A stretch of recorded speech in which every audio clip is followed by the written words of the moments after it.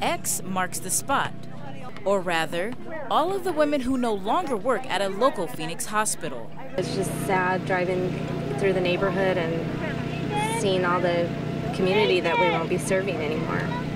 Kim Parrish attended a barbecue function today with all of her coworkers after their last day of work at John C. Lincoln's Babies Unit. She was a nurse there for 11 years until the baby unit took a financial downturn for the worst.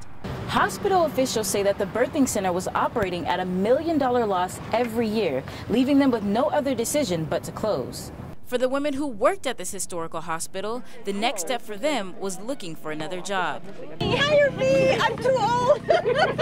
Although 69 year old Sharon Burnett laughed about her jobless situation, she said her age was a huge concern for her when applying to the job market. But she remains very optimistic.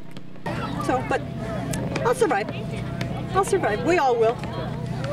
I'm Heather Jackson for ABC 15 News.